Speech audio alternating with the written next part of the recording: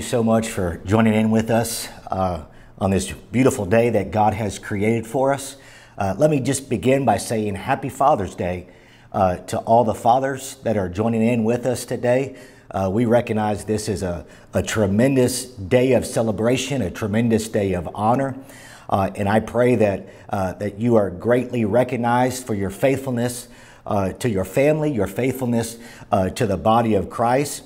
And I'd just like to take just a, a moment and give a special shout out to my father, who I, I personally feel is uh, maybe the greatest father uh, that's ever walked the face of the earth. And I, I, I, realize I might be a little bit biased in that. I pray that you feel that way uh, about your father. And I just encourage you to, to take a moment, give him a call, give him a text uh, send them a note uh, and just uh, expressing your appreciation. And to my dad, once again, I say Happy Father's Day to you uh, and pray God's blessings over you and just believe that you have a, a, a marvelous, uh, a wonderful day of, of, celebration and, and being honored for the, the great individual uh, that you are.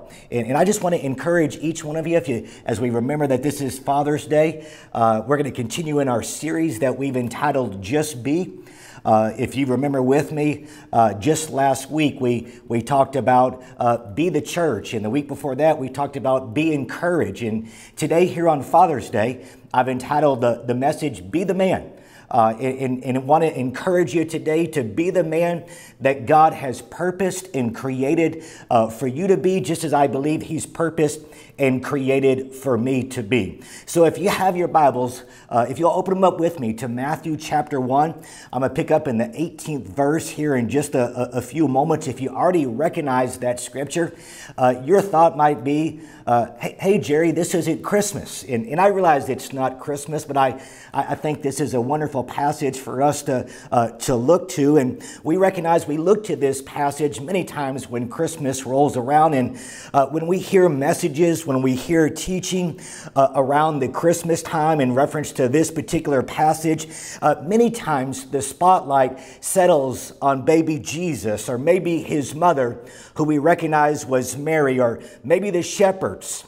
Uh, for some, the, uh, the teaching is focused on, on the angels. Uh, for others, the teaching is focused on, on, on, on the Magi. But I recognize uh, very little do we hear a message about Joseph.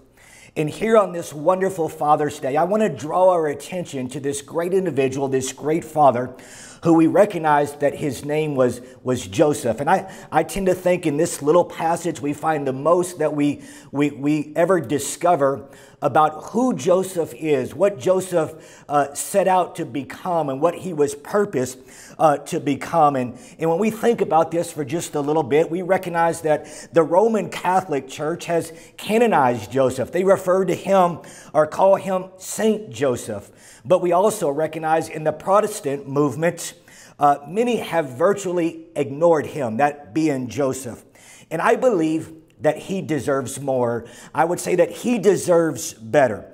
I, I, I, tend to believe he had to be a remarkable man of God to be chosen from all men on the earth to serve as Jesus' earthly father.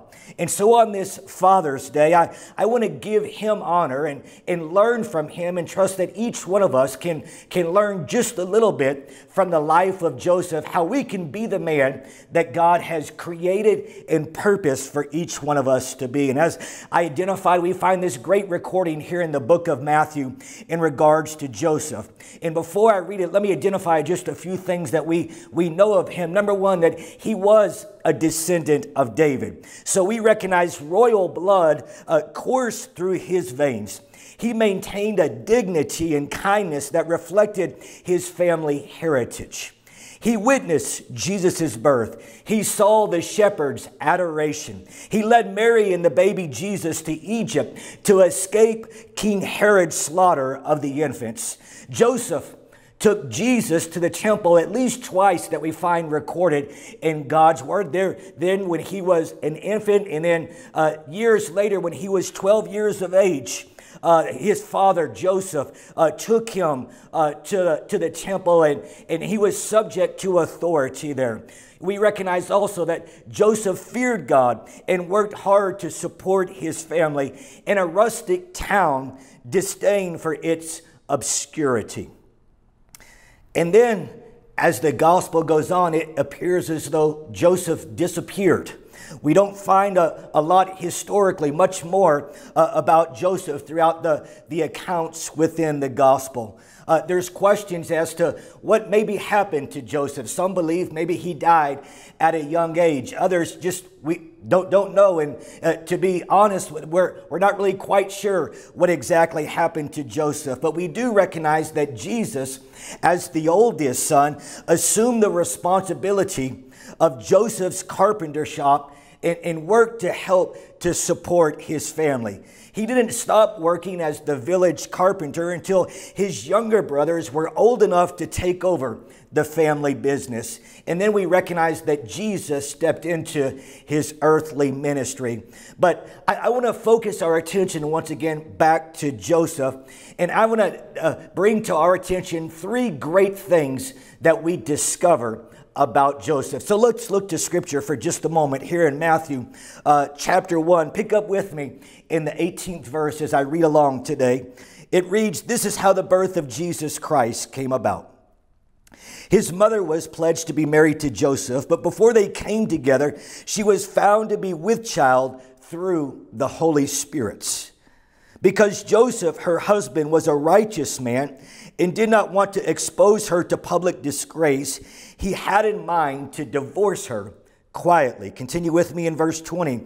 But after he had considered this, an angel of the Lord appeared to him in a dream and said, Joseph, son of David, do not be afraid to take Mary home as your wife, because what is conceived in her is from the Holy Spirit. She will give birth to a son, and you are to give him the name Jesus because he will save his people from their sins. A little bit longer, verse 22. All this took place to fulfill what the Lord had said through the prophet. The virgin will be with child and will give birth to a son, and they will call him Emmanuel, which means God with us. When Joseph woke up, he did what the angel of the Lord had commanded him, and he took Mary home as his wife. And I'll conclude here in verse 25. But he had no union with her until she gave birth to a son, and he gave him the name Jesus. Let's take a moment and pray over God's word and that God's, uh, God's good work would be accomplished in each one of us uh, today. Father, I say thank you for your word once again. Lord, thank you for this great scripture that we have to reflect upon. God, and we simply trust in your revelation, God, that your truth would take root in each one of us, God, and that, that, that we would be helped, God, that we would be encouraged on this wonderful day that we recognize as Father's Day uh, to be the man, Lord, to be the Father that you have purposed for each one of us to be. God, and I pray that uh, th- those around us, Lord, our, our wives, our children, that, that they would be encouraged, God, as we grow into that, that man that you have once again purposed for each one of us to be unto your glory. God, and we pray that, that your will is accomplished in these next few moments. In the name of Jesus, we pray. Amen. Once again, I just want to give you three things that we recognize uh, from the life of Joseph. And I want to jump right into this today. Number one, that Joseph was a just man. Look back to verse 19 with me one more time. It reads, Because Joseph, her husband, was a righteous man and did not want to expose her to public disgrace, he had in mind to divorce her quietly. Uh, the King James identifies that he was a just man. Here in the NIV, which I just read, it identifies uh, Joseph as a righteous man. The Bible tells us, tells us with frankness and tact of Jesus' conception by the Holy Spirit. And recognizing that, that Joseph was a just man, I want to identify three areas that we can, we can capture this today. Number one, Joseph was sensitive to society's moral standards. He could not ignore what people would think and say. All his life, he had been abiding, abiding by, by such high standards. Apparently, Joseph had, had no dynamic, overwhelming personality, but we do recognize that Joseph was a good man with ordinary abilities, but he put those abilities that we would recognize as common and ordinary, he, he put those abilities in God's hands, and God was willing to use him. And I, I want you to recognize, just as God used Joseph, that God desires to use your life and, and that we would become the men and that we would rightfully lead our families the way that God has purpose for us to lead our families and that we would lead our own life the way that God would purpose into the high standards that God has established for each one of us. So Joseph, we recognize, number one, was sensitive to society's moral standards. Number two, Joseph was sensitive to his own reputation. When people say, and sometimes we hear people say this, I don't care what people think as long as I think I'm right. I want you to realize that they're really only trying to fool themselves. Being right is important, but what others think of you, I believe, is just as important as far as it depends upon us. Wanting to live the life that we recognize is honorable, to live a life that we recognize uh, is respectful to others, but most importantly, respectful to God. Uh, we recognize, and you might recognize, we might truly be right, but if people think that we are wrong, we lose our opportunity to help them. A godly person's reputation is very important because we're called to encourage, we're called to strengthen, we're called to, to help those that are around us. And it's hard to help people if we don't have a good reputation. So we want to maintain a good reputation amongst those that we fellowship with. We want to maintain a good reputation with those within our community so that we can be that godly help that God has purpose for each one of us to be. Proverbs 22, verse 1 uh, puts it this way A good name is more desirable than great riches. One more time, a, a good name is more desirable than great riches. Hear me, I, I don't know about you, but more than gaining worldly wealth, I want to have a good reputation with those that I associate with, those that, that, that I, I work with within the community.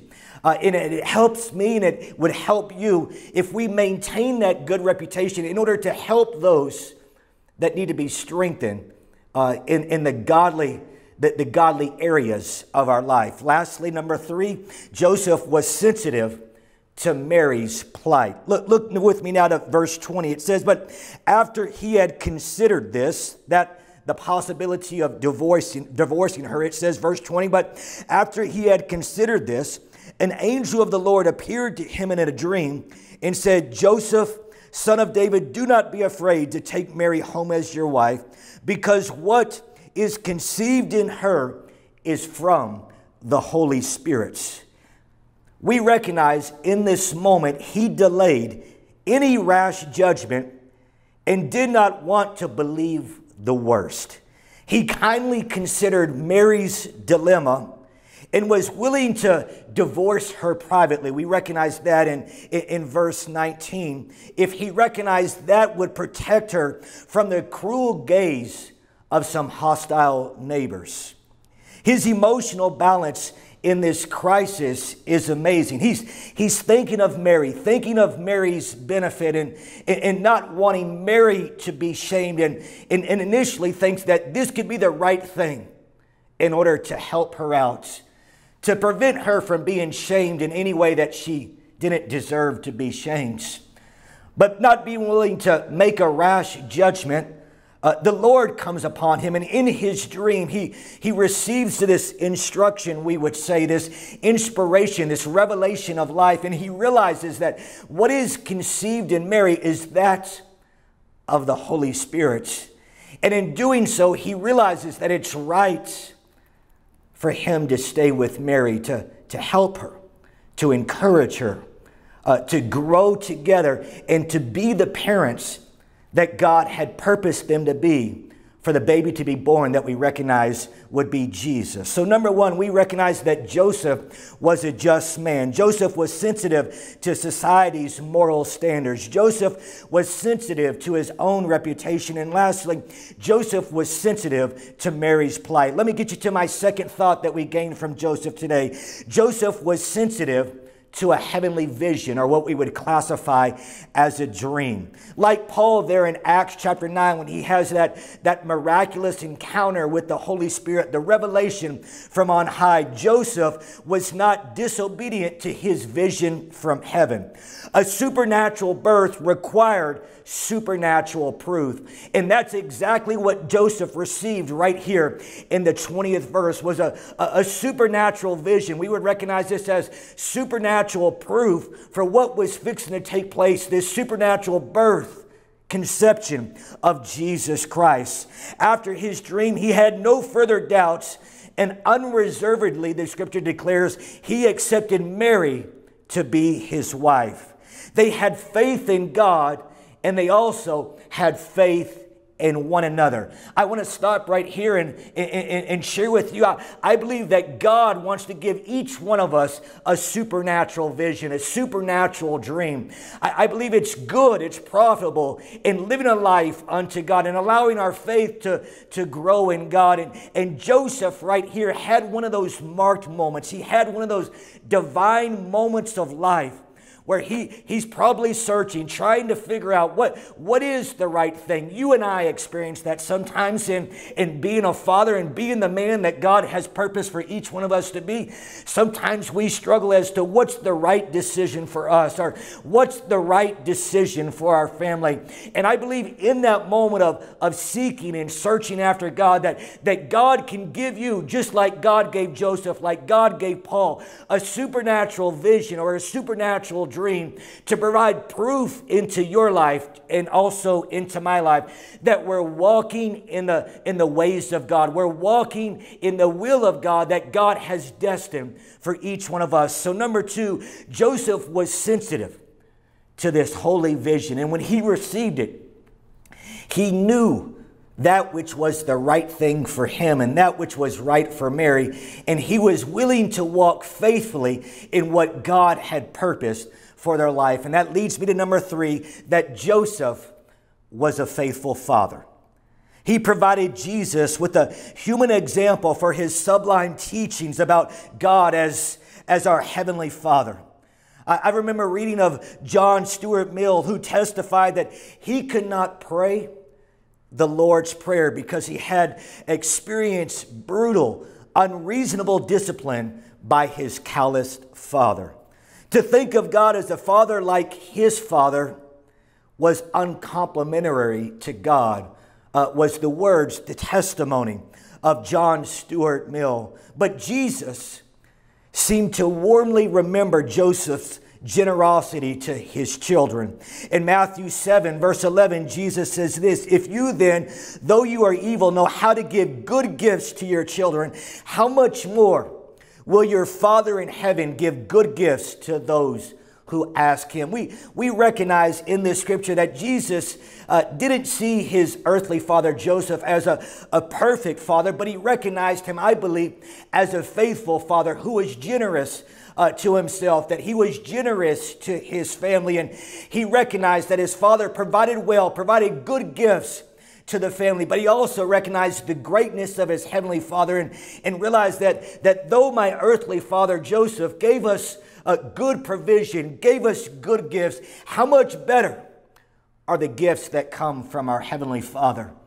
And, though Joseph was a faithful father, how much more faithful is our heavenly father, God himself? to each one of us. But, but Jesus had that great model in Joseph the one who was that faithful father to him uh, through the early years of his life, leading him, directing him, teaching him, helping him throughout the, the journey of life, enabling him, just as well as his heavenly father, to become the man that God had purposed for him to become. So let me review this real quick before I get into the conclusion today. We recognize that Joseph was a just man. Number two, that, that Joseph was sensitive to his heavenly vision, the heavenly dream. Lastly, number three, that Joseph was a faithful father. And I want to begin to wrap all this together. If you still have your Bibles right there, turn with me to, to Luke chapter 15. In, in, in, Luke chapter 15, we, we, we find this, this wonderful parable uh, referred to as the parable of the prodigal son, or another translation would say the, the parable of the lost son. But I want you to catch it from a different perspective today as I begin to conclude today's message. I, I believe this could also be referred to as the parable of the loving Father. The parable of the loving Father. And I'm not going to read all of this, but you, you might remember that, that, that one of the sons uh, asked his father for his inheritance, his portion of the family, and he wandered off, wandered away from the family. And the Bible declares that he wasted, he spoiled all of his inheritance. And he got to the point where he was just slopping around with the pigs. And he thought it would be better to be a servant in his father's house than, than to live in the slop with the pigs right here. But I believe through that whole time, that whole journey, that the loving father was expecting and waiting for his son to come back home. Why? Because in this parable, we recognize that the father was a loving father. The best part of the story is, I believe, when the boy returns home from a faraway country. We, we know that the father never ceased to watch for his son. Look, look right into the middle of this in, in Luke chapter 15. I, I want to catch up right in the middle of this story. It says, When he came to his senses, verse 17, referring to the son, he said, How many of my father's hired men have food to spare, and here I am starving to death. I will set out and go back to my father and say to him, Father, I have sinned against heaven and against you. Verse 19, I, I am no longer worthy to be called your son. Make me like one of your hired men. So he got up and went to his father. And catch this. But while he was still a long way off, his father saw him and was filled with compassion for him. He ran to his son, threw his arms around him, and kissed him. Catch this. The whole time the son was wandering in just the mess of this world, wasting everything the Father's waiting, the Father's looking, the Father is expecting for His Son to come home. And when His Father sees Him, He's so overwhelmed, so overjoyed, so filled with compassion. The scripture declares that the Father ran to the Son, and there He embraced Him, took Him in, just as His very own. His Father, once again, never ceased to be watching for the Son to come home. And there in verse 20, we identify the father ran, denoting his, his own eagerness for reconciliation. He joyfully welcomed his son back home with a robe, a ring, the scripture uh, declares, shoes, and a joyous feast. We jump to the end of this, the 32nd verse. The father said to the other son, Your brother was lost and is now found. Jesus teaches us that that's what God is, is really like. There's many that have wandered away. Maybe you have wandered away from Him. But I want you to know that our Heavenly Father is a loving Father who longs for your return. I believe He's watching, He's waiting. And if we would just make that, make that, that turn back to Him, I, I believe God would run back to us and, and begin to embrace us. Why? Because God loves us so much. He desires to forgive us, to forgive you, and to restore your place as a son or daughter. If you will just return from your old life and look back to Him again. You know, I think of it as being a father myself. How, how joyous it is when my I, am blessed with two daughters. When, when they come back home from being gone on a trip or are gone visiting somebody and they, they come back and, and, and it's a joy to welcome them back into the home again. And I, I want you to realize that I believe that God is waiting for that moment to wrap his arms around us and to embrace us once again as a son or a daughter. So I wonder as I conclude this right now, would you be willing to turn back to Jesus, to turn back to God, and to accept Him as your Heavenly Father, the Savior of your life once again? It doesn't matter what you've done. Jesus went to the cross because He loves you. And He wants to restore that relationship back with God, our Heavenly Father. Could you make that choice to accept Him?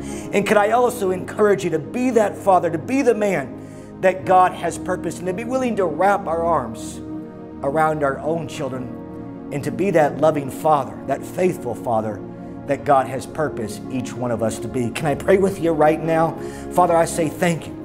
Lord, for this moment that we've been able to have together today. We trust in the in your revelation, God, your truth, God, that, that your word would be planted into each one of us, God, and that it's accomplishing that which you have purpose for it to accomplish. God, and I, I pray for each father right now.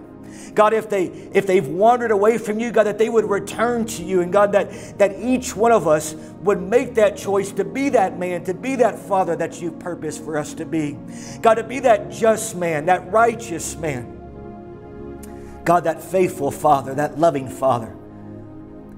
God, that you have created each one of us.